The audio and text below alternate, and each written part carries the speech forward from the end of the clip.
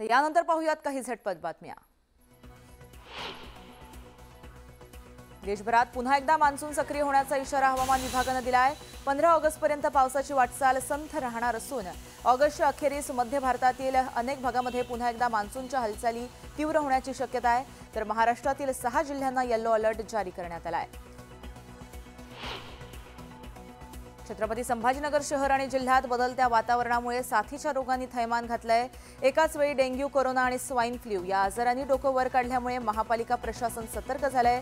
कोरोनाचे आठ रुग्ण होम आयसोलेशनमध्ये असल्यानं परिसरात भीतीचं वातावरण पसरलंय.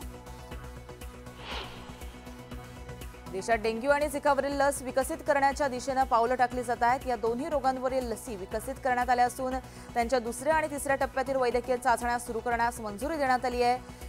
डेंगी ऑल असं या लसीचं नाव असून तिच्या चाचण्या पाच वर्षांसाठी घेतल्या जाणार आहेत.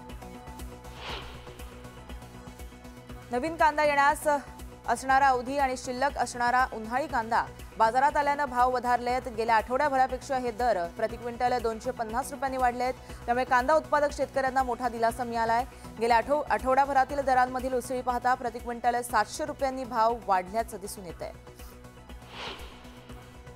बीड जिल्ह्यामध्ये नगदी पिकं आणि चांगलं उत्पन्न मिळवून देणारं पीक म्हणून शेतकरी कांदा लागवडीकडे वळतोय. कांदा लागवडीसाठी मोठा खर्च येत असला तरीही त्यातून चांगलं उत्पन्न मिळण्याची अपेक्षा शेतकऱ्यांनी व्यक्त केली आहे.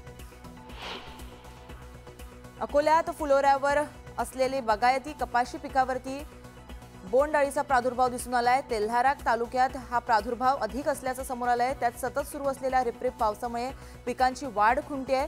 शेतात तणही वाढले त्यामुळे शेतकऱ्यांच्या अडचणीमध्ये वाढ झाली आहे. सिंधुदुर्ग जिल्ह्यातील नांदगाव रेल्वे स्टेशन नजीक सिंधुदुर्ग बाजार समितीच्या वतीनं मार्केट यार्ड उभारण्यात येणार आहे. या मार्केट यार्डमध्ये आंबा काजू मासे भाजीपाला यासह विविध कृषी उत्पन्न देणाऱ्या वस्तू उपलब्ध होणार आहेत. त्यामुळे आता कोकणातील देवगड हापूस आंब्याला सुद्धा हक्काची बाजारपेठ उपलब्ध होणार आहे. मिळकत कराची चाळीस टक्के सवलत देण्यासाठी पुणे महानगरपालिकेनं सर्व सर सुरू केलेलं सर्वेक्षण ऐंशी टक्के पूर्ण झालं आहे तीन लाख एकसष्ट हजार घरांपर्यंत कर्मचारी पोहोचले आहेत दरम्यान या सर्वेक्षणाचे अवघे दोन दिवस उरले असून मुदतवाढ दिली जाणार नाही असं मिळकत कर विभागाचे उपायुक्त माधव जगताप यांनी सांगितलं आहे महाराष्ट्र माध्यमिक आणि उच्च माध्यमिक शिक्षण मंडळानं दहावी आणि बारावीच्या परीक्षांचं संभाव्य वेळापत्रक जाहीर केलंय. यंदा दरवर्षीपेक्षा दहा दिवस अगोदर परीक्षा होणार असल्यानं शिक्षकांनी आक्षेप घेतलाय. त्यामुळे विद्यार्थ्यांचे अभ्यासाचं नियोजन बिघडणार असून सराव परीक्षा आणि अभ्यासक्रमावरही याचा परिणाम होणार असल्याची अपेक्षा चिन्ह जी आहे ती निर्माण झाली आहेत. शाळांच्या वेळा बदलण्याच्या राज्य शासनाच्या निर्णयाची अंमलबजावणी नवी मुंबई महानगर पालिकेतील शाळांमध्ये सोमवारपासून होणार होती. मात्र शिक्षक संघटनांच्या तीव्र विरोधामुळे हा वेळ बदल कागदावरच राहिलाय. मात्र यामुळे पालक आणि विद्यार्थ्यांमध्ये सोमवारी गोंधळाची स्थिती होती. सोलापूर शहरामध्ये कचरा संकलन नियोजनाचा फज्जा उडालाय. शहरातील अनेक चौकामध्ये कचऱ्याचे ढीक साचले त्यामुळे सोलापूरकरांना नाहक त्रास सहन करावा लागतोय. दरम्यान ठेकेदारी पद्धतीकडे महापालिका अधिकारी साफ दुर्लक्ष करत असल्याचा आरोप सोलापूरकरांनी केलाय. पुणे मेट्रोचा रामवाडी ते वनाज आणि रामवाडी ते वाघोली या मार्गाचा विस्तार करण्याच्या योजना आखण्यात आल्या. अद्याप याला केंद्र सरकारनं मंजुरी दिली नाहीये. महामेट्रोनं वनाज ते चांदणी चौक या मार्गावरील दोन स्थानकांसाठी आणि रामवाडी ते वाघोली विस्तारातील आणि विस्तारावरील अकरा उत्पन्न स्थानकांसाठी उन्नत स्थानकांसाठी तपशीलवार डिझाईनच्या कामावर लक्ष केंद्रित केलंय. वनाज ते चांदणी चौक विस्तार हा एक पूर्णांक बारा किलोमीटर लांबीचा आहे. मध्य रेल्वे मार्गावर जलंब ते शेगाव विभागात स्वयंचलित सिग्नलिंग प्रणालीचं काम पूर्ण झालंय. या प्रणालीमुळे रेल्वे गाड्या कमी वेळेमध्ये पास होणार आहेत. रेल्वे गाड्यांचा खोळंबा टाळणार असून वेगही वाढणारे. एकाच वेळेस एकाच मार्गानं धावणाऱ्या दोन रेल्वे गाड्यांमधील अंतर कमी होणार असल्यानं त्या निर्धारित वेळेमध्ये धावण्यासाठी मदत होणार आहे.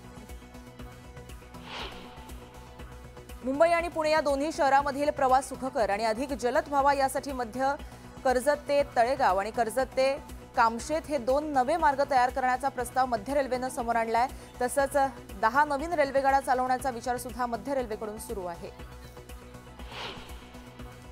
मुंबईकरांची जीवनवाहिनी असलेल्या लोकलचा प्रवास हा जीवघेणा ठरू लागलाय. यासाठी उपाययोजना करण्यात याव्यात अशी मागणी प्रवाशांकडून करण्यात आली आहे. परंतु तरीही रेल्वे प्रशासनाकडून दुर्लक्ष करण्यात येत असल्यानं बावीस ऑगस्टला रेल्वे प्रवासी संघटनेकडून मुंबई ठाणे इथं हे आंदोलन करण्यात येणार आहे. प्रवाशांनी बावीस ऑगस्टला पांढरे कपडे घालून काळी फीत लावून रेल्वे प्रशासनाचा निषेध करावा असं आवाहन रेल्वे प्रवासी संघटनेच्या वतीनं करण्यात आलंय.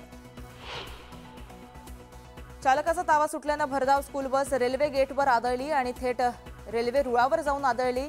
यावेळेस गेटमॅन आणि नागरिकांनी तात्काळ ही बस बाहेर काढली. त्यामुळे मोठा अनर्थ टळला. सांगलीच्या अमणापूर विठ्ठलवाडी रेल्वे गेटवरती ही घटना घडली आहे. मनमाड शहर परिसरातील सर्वच भागामध्ये मोकाट जनावरांची जनावरांनी उच्छाद मांडला होता. रस्त्यानं येणाऱ्या जाणाऱ्या नागरिकांवर ही जनावरं अचानक हल्ला करत होती. त्यामुळे नागरिकांमध्ये भीतीचं वातावरण निर्माण झालं. मोकाट जनावरांचे कळप सर्वच रस्ते आणि हायवेवर ठाण मांडून बसत असल्यानं वाहतुकीची कोंडी निर्माण झाली होती. मुंबईला पाणीपुरवठा करणारी बहुतांश धरणं सध्या काठोकाठ भरली असली आणि वर्षभराची पाणी चिंता मिटली आहे. मात्र मध्य मुंबईतील वरळी लोअर परेल त्याचबरोबर करी रोड या भागामध्ये गेल्या काही दिवसांपासून पाण्याचा ठणठणाट पाहायला मिळतोय. त्यामुळे या भागातील इमारतींमध्ये टँकरद्वारे पाणी पुरवठा होतोय.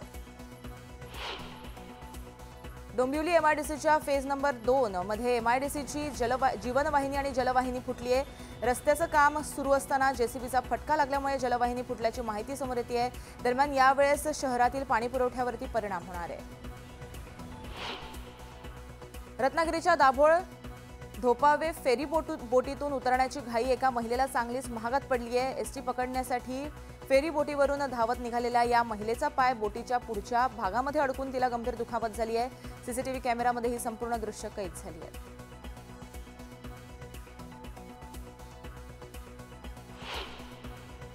महाराष्ट्र राज्य दहीहंडी गोविंद असोसिएशननं मुंबईसह महाराष्ट्रातील सर्व गोविंदांचा विमा उतरवण्याची मोहीम सुरू केली आहे. या संस्थेनं गोविंदांना विमा संरक्षणासाठी चोवीस ऑगस्टपर्यंत अर्ज भरण्याचं आवाहन केलंय. भारताची लोकसंख्या आता आगामी काळामध्ये आणखी वाढण्याची शक्यता आहे. येत्या दोन हजार छत्तीस पर्यंत भारताची लोकसंख्या ही एकशे बावन्न पूर्णांक दोन कोटीपर्यंत पोहोचण्याचा अंदाज आहे. दोन हजार अकरामध्ये महिलांची लोकसंख्या ही सरासरी अठ्ठेचाळीस पूर्णांक पाच टक्के होती. आता अठ्ठेचाळीस पूर्णांक आठ टक्केपर्यंत महिलांच्या टक्केवारीमध्ये किंचित वाढ झाली आहे.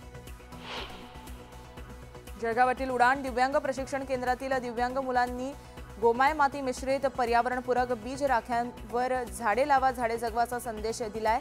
या राख्यांमध्ये तुळस काकडी तीळ त्याचबरोबर टॉमॅटो मिरची गिलकं अशा अनेक गोष्टींचा वापर करण्यात आलाय. या राख्या भारतीय जवानांसह पोलीस आणि अनाथ मुलांना पाठवण्यात आल्या आहेत. स्वातंत्र्य दिनाच्या पूर्वसंध्येला पुण्यातील खडकवासला धरण तिरंग्या ध्वजाच्या विद्युत रोषणाईनं झळावून निघालंय. पाटबंधारे विभागानंच ही आकर्षक रोषणाई केली आहे भुसावळच्या हतनूर धरणावरती स्वातंत्र्य दिनाच्या पूर्वसंध्येला आकर्षक रोषणाई करण्यात आली. तिरंगा ध्वजाचा ध्वजाच्या थीमवरती धरणामध्ये ही आकर्षक रोषणाई करण्यात आली आहे यासाठी प्रखर प्रकाश देणाऱ्या दोनशे वॅटच्या दिव्यांचा वापर करण्यात आला आहे पंधरा ऑगस्टच्या निमित्तानं अकोल्यातील सगळी शासकीय कार्यालयं तिरंगी रंगाच्या रोषणाईनं नाहून निघाली आहेत. दरम्यान महान धरणावर तिरंग्याची रोषणाई करण्यात आली आहे. यावेळेस धरणाच्या दहा गेटमधून एक हजार चारशे सत्तेचाळीस क्युसेक्स वेगानं विसर्ग सुरू आहे. पिंपरी चिंचवडमधील सांगवी परिसरामध्ये पान टपरीवाल्यांकडून हप्ता वसूल करणाऱ्या गावगुंडांचा व्हिडिओ सोशल मीडियावर तुफान व्हायरल होतोय. दरम्यान हा व्हिडिओ व्हायरल झाल्यानंतर पोलिसांनी गावगुंडाला ताब्यात घेतलाय. नागपुरात आई आणि मुलानं एकाच वेळी इंडिया आणि आशिया रेकॉर्ड बुकमध्ये रेकॉर्ड नोंदवला आहे. अकरा वर्षीय शिवांशने पुस्तकातील शंभर पानांवर अधोरेखित असलेले शब्द न पाहता आठ मिनिटं पाच सेकंदात वाचून सांगितले तर आई सुप्रियानं. संविधानातील पंच्याहत्तर कलमं ही तोंडपाठ म्हणून दाखवली आहेत.